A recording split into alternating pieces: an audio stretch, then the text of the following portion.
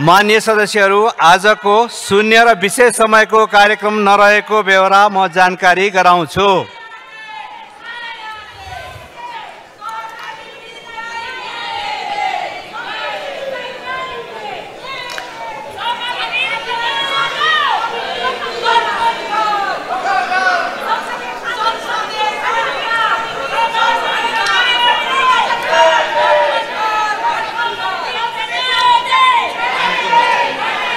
मान्य सदस्यहरू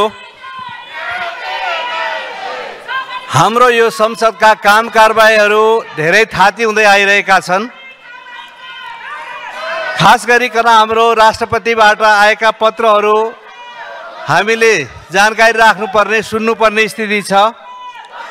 त्यस्तै गरी हाम्रो गते राष्ट्रपतिजीबाट भएको सम्बोधनलाई धन्यवाद ज्ञापन गर्नुपर्ने छ अध्यादेशबाट आएको कानुनलाई हामीले यहाँ टेबल गर्नु छ। यसभन्दा अगाडि नै गर्नै पर्ने कामहरू बाँकी रहेका छन्। त्यसैले मान्यजीहरू आफ्नो ठाउँमा आसन ग्रहण गर्नुहोस् र हामीले गर्नै पर्ने काम कारबारलाई अगाडि बढाउनको लागि साथ दिनको लागि म मान्यजीहरूलाई अनुरोध गर्दछु। र म अब मान्य सदस्यहरू आसन ग्रहण गर्नुहोस् र त्यस पछाडि हामी हाम्रो कारबाहीलाई अगाडि बढाउनको लागि म मान्यजीहरूको ध्यान आकर्षित गराउँदै बस्नको लागि अनुरोध गर्दछु।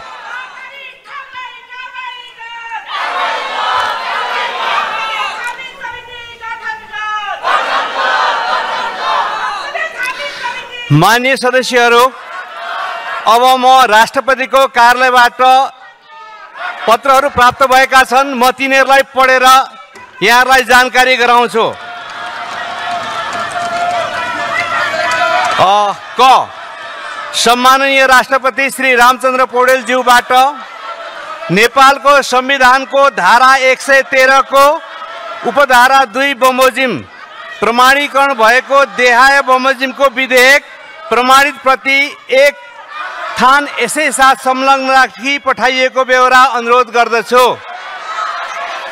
क्रम सङ्ख्या एक।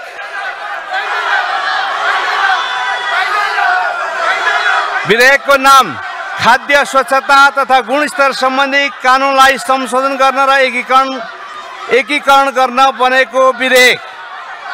प्रमाणीकरण मिति दुई हजार एकासी एक महिना तेइस गते। दिल्लीराम शर्मा सचिव मिति दुई हजार एकासी तेइस गते। ख।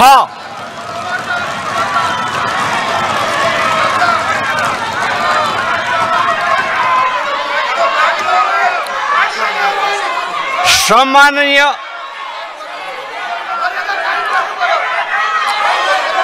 मान्यजीहरू यहाँहरू आसन ग्रहण गरौँ। म अर्को पत्र यहाँहरूको अगाडि पढेर सुनाउँछु। मान्यजीहरू आसन ग्रहण गरौँ। म राष्ट्रपति कार्यालयबाट आएको अर्को पत्र सुन्ने गरी बुझ्ने गरी म पढेर राख्न चाहन्छु। मान्यजीहरू आसन ग्रहण गरौँ।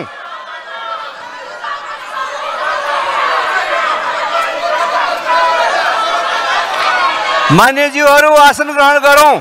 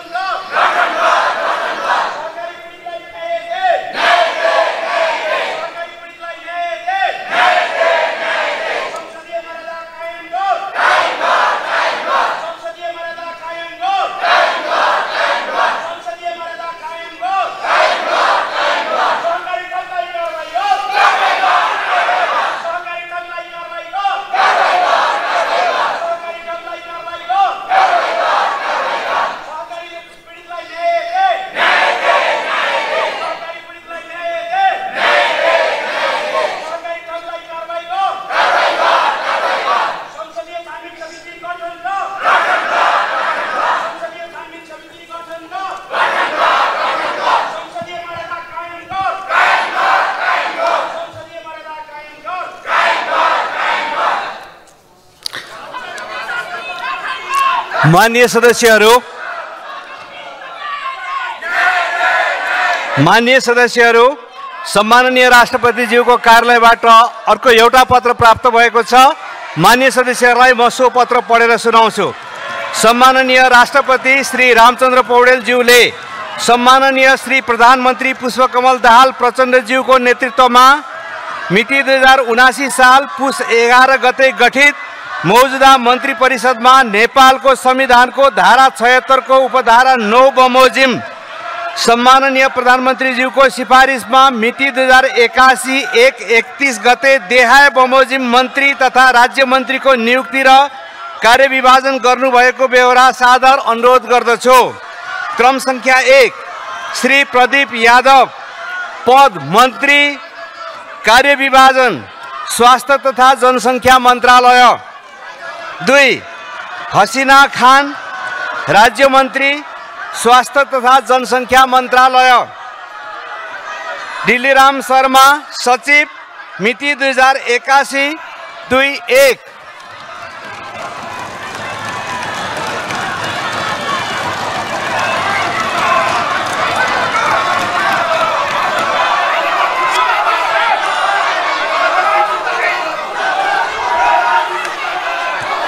मान्य सदस्यहरू आज मान्य सदस्य उप प्रधानमन्त्री एवं गृहमन्त्री रवि ला रवि लामी छानेले सभाको बैठकमा उठेका विषयहरूको सम्बन्धमा बोल्नको लागि समय माग गर्नुभएको छ। र रवि लामी छानेलाई बोल्नको लागि बोल्न दिनुपर्छ भन्ने कुराहरू पहिलादेखि आइ पनि रहेको छ र उहाँले माग गर्नुभएको छ। त्यसले गर्दाखेरि म उहाँलाई रवि लामे छानेज्यूलाई बोल्नको लागि समय दिन्छु।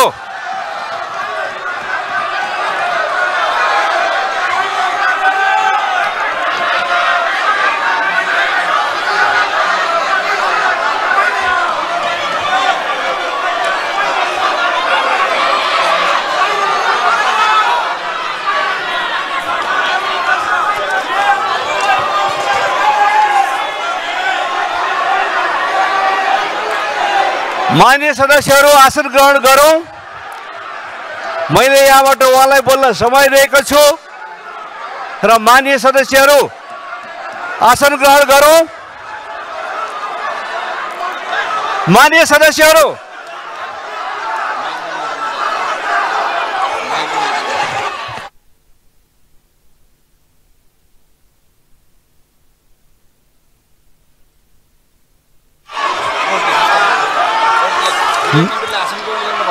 माननीय सदस्यहरू आसन ग्रहण गरौँ। म गृहमन्त्रीलाई आसन ग्रहणको लागि अनुरोध गर्दछु। मान्य गृहमन्त्रीलाई आसन ग्रहण गर्नको लागि म अनुरोध गर्दछु। मान्य सदस्यहरूको आजको कार्यसूचीको बाँकी कार्यक्रमहरू सूचीबाट हटाइएको कुराको म जानकारी गराउँछु। मान्य सदस्यहरू अब अर्को बैठक दुई हजार एकासी साल जेठ चार गते शुक्रबार बिहान एघार बजे बस्ने गरी यो बैठक स्थगित हुन्छ।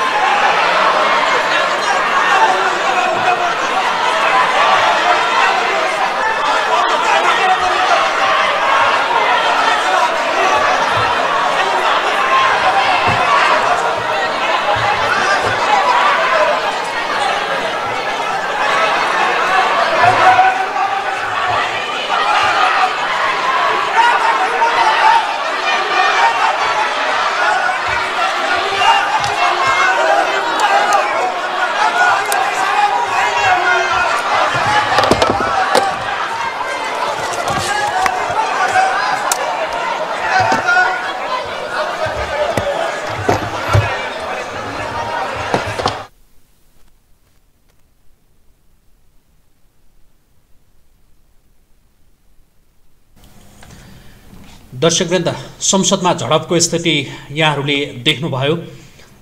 सत्तापक्ष र प्रतिपक्षका सांसदहरूका बिचमा झडपको स्थिति उत्पन्न भएको थियो। सभामुख देवराज घिमिरेले संसद अवरोध भइरहेकै बेलामा उपप्रधान तथा गृहमन्त्री रवि लामिछानेलाई बोल्न दिइसकेपछि